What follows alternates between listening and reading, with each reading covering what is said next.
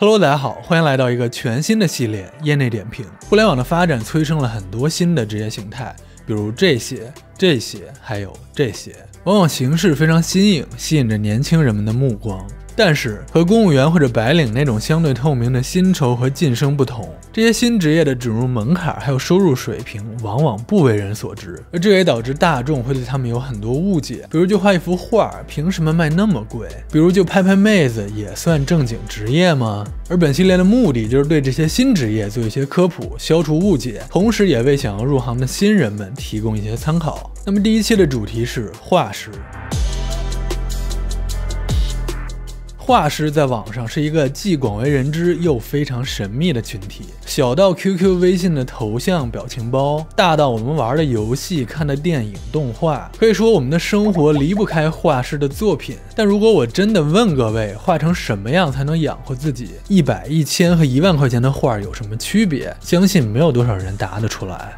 所以本期我找来了十张不同的二次元画作，也找来了九位行业里的嘉宾，我会让他们每个人逐一看画，给出评价，并说出一个他认可的价格区间，给各位一个最直观的认知。那么我们的嘉宾分别是。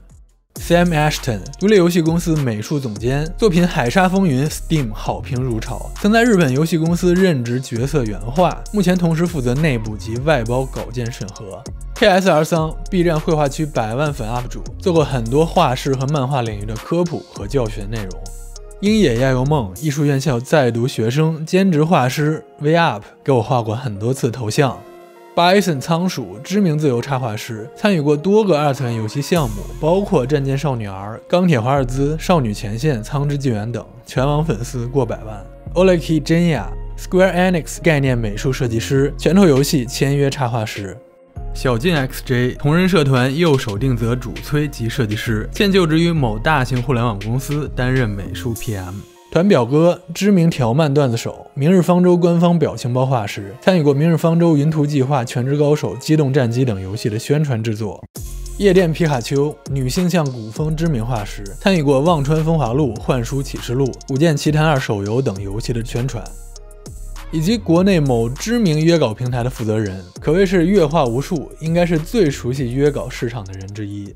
有一说一，请这么多嘉宾来，着实费了一番功夫，覆盖了画师、学生、平台、甲方以及买家，他们的画风和从业经历也千差万别，所以等一下可能不同嘉宾对于同一张画的反应都是不一样的。这么做的目的就是尽量提供一个全面的视角。开始之前要特别声明一下，其实做这个系列想想就知道有那么一点点敏感，但我想说，无论一会儿给出的价格在你看来是高了还是低了，那都是嘉宾们根据自己多年的从业经验得出来的。所以还请各位理性讨论。好了，那么各位做好准备，我们正式开始。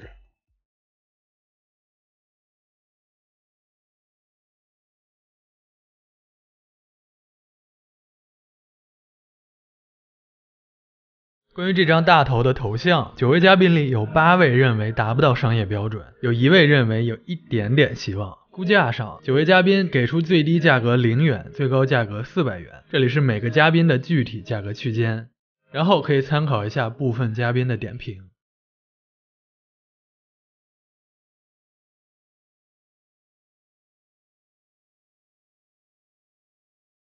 真实情况是，这是一张在拼多多上花二十九块九买到的真人二次元画约稿，几十元价位的绘画店里充斥着这种画风和完成度的作品，相信有不少人都买过。相信大部分人都能看出这张图比上一张要好一些。九位嘉宾里有七位认为达不到商业标准，一位认为很难，还有一位觉得这个水平是可以接到商稿的。价格上有两位表示无法估价，其余最低出价五十元，最高出价四百元。以下是部分嘉宾的点评。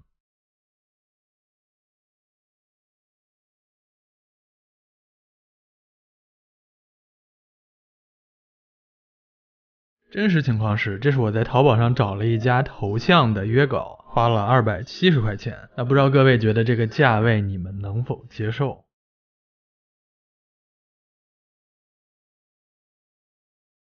我个人而言很难说这张比上一张是好还是坏，只能说风格不太一样。九位嘉宾里有六位认为达不到商业标准，有三位觉得有一点点可能。价格区间上最低一百元，最高一千元。以下是嘉宾的评价。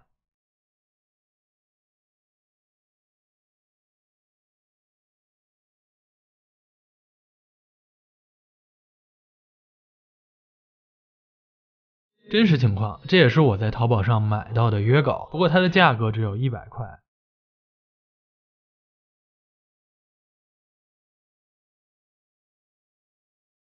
这张图很显然完成度高了很多，而且看起来更有二次元那味儿了。反映在嘉宾的评价上，只有两位觉得没有达到商业标准，有四位觉得有机会，有三位觉得已经达到了商业标准。估价上，最低估价是一百元。而最高的估价直接给到了八百到两万，因为商稿往往来自于企业或者公司的需求，他们的给价就会更高。可以看到，认为达到商稿标准的三位嘉宾的价格上限都比其他人要高得多。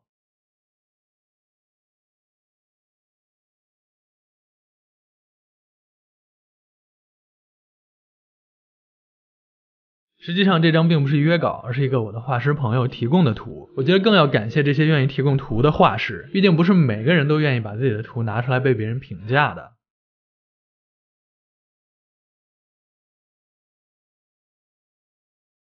这是一个一组三张的头像，论完成度其实不算高，但是九位业内的嘉宾没有一个人觉得没达到商业标准，有六个人都觉得完全可以商业。报价上最低三百元，最高七千元。让我们来看一看大家为什么这么说。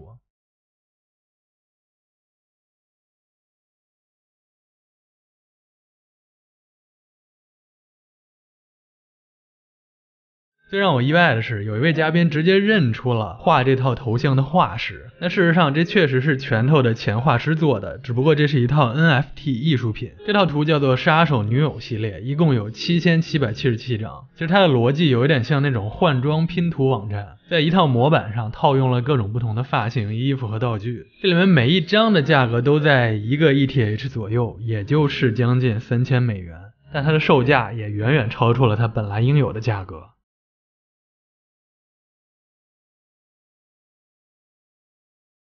这是一张很精致的二次元半身像，九位嘉宾里有五位认为达到了商稿的标准，有一位认为还没有。价格分布上，最低估价四百五，最高估价一万五。以下是嘉宾们的回答。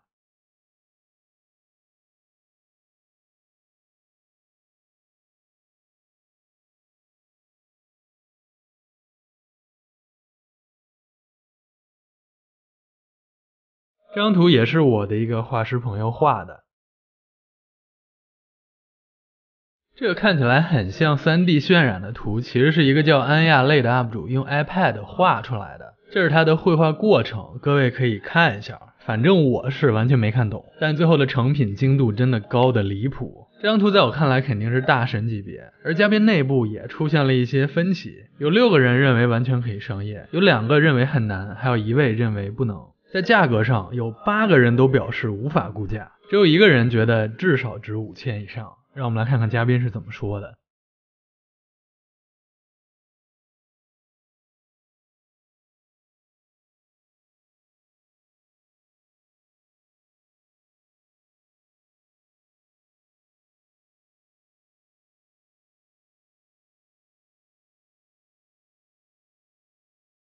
这幅画我最大的感受就是，看了的人都说牛逼，但没有谁知道这画到底卖给谁，该卖多少钱。但也说明了，太过风格化的东西在市场上的流通就没有那么的顺畅。这应该是两个偏写实风的同人图，分别出自《星际牛仔》和《攻壳机动队》。我选它的原因是它的画风和前面几张反差很大。嘉宾们在这幅画上同样表现的比较纠结，一个人觉得不能商业，三个人觉得很难，四个人觉得可以，还有一个不知道。价格上，七个人觉得无法估价，还有两个人给出了估价，分别是一千到三千和五千以上。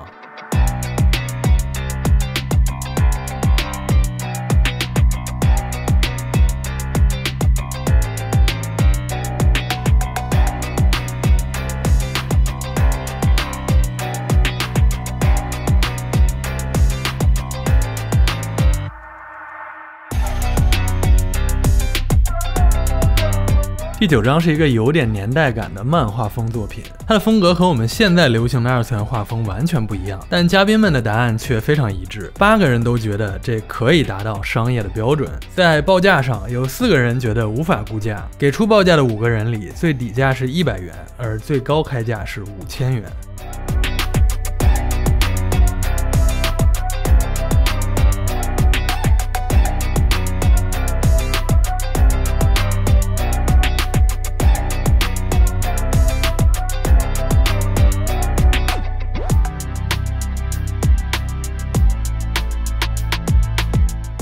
事实上，这幅画的作者叫 Mister，是一个1969年出生的日本艺术家。这个人据说是村上隆的大弟子，那可想而知，人家是玩艺术圈、潮流圈的。这幅画是被打印出来的版画，名字叫《高中生的故事》，夜夜，一共有一百版。这个人的作品之前也登上过嘉德拍卖。那作为一个艺术家，他的画溢价一定也是很高的，一版也要售价三千六百五十美元，和两万多人民币。九位嘉宾在不知情的情况下给出的报价远远。不如它的真实售价，但确实他们都能看出这幅画的作者是有功底的，所以我觉得还蛮有意思的。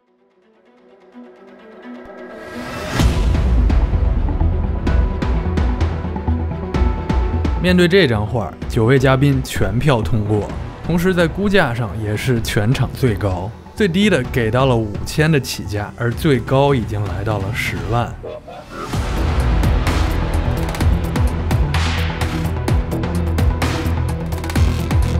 Música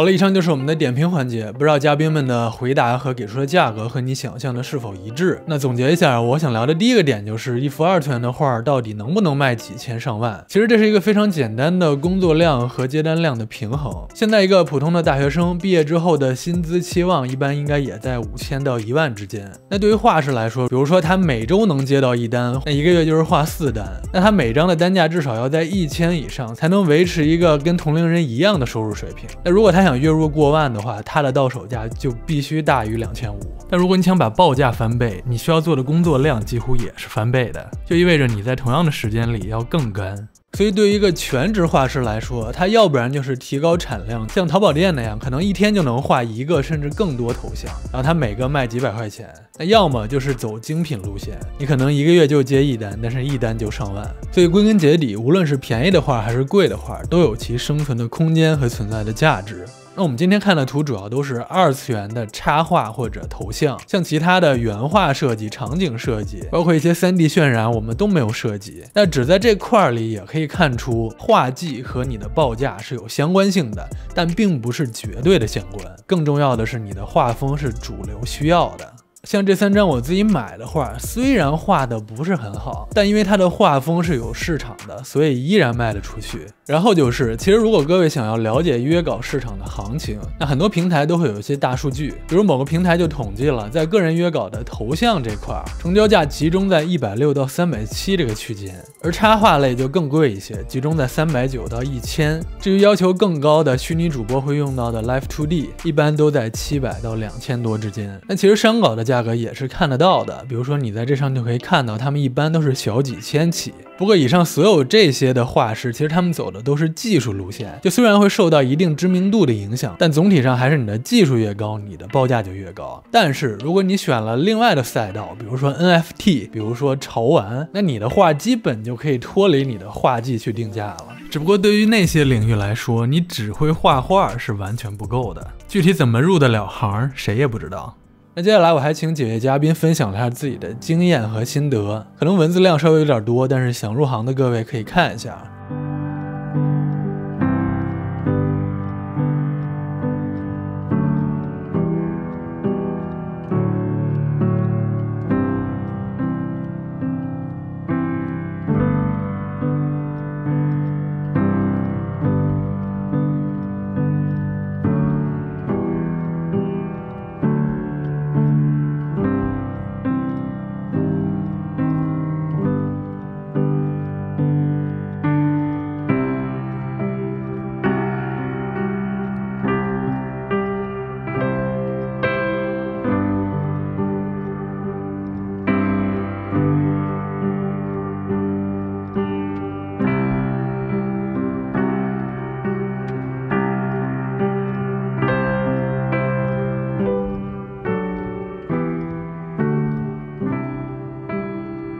好了，以上就是本期视频的主要内容。那作为这个系列的第一期，我觉得还有很多的尝试成分，就我远没有把画师这个行业完全说明白，所以欢迎各位在形式和题材上多多的提出各种建议。对于画师这个职业，我觉得它本身是一个天道酬勤的职业，甚至有一点卷。但是在卷的同时，你也要知道自己的定位和追求。比如说，我就是要挣钱，还是说我就是热爱，我要追求我的艺术境界。可能选择不同的风格，你要侧重的点都不太一样。所以各位想要成为画师的观众们，也可以去多多的找大佬们交流，然后多看一下行业里的前辈是怎么在运营自己，这样可能对你的职业发展有更好的帮助。好了，那么感谢各位的观看，我们下期再见。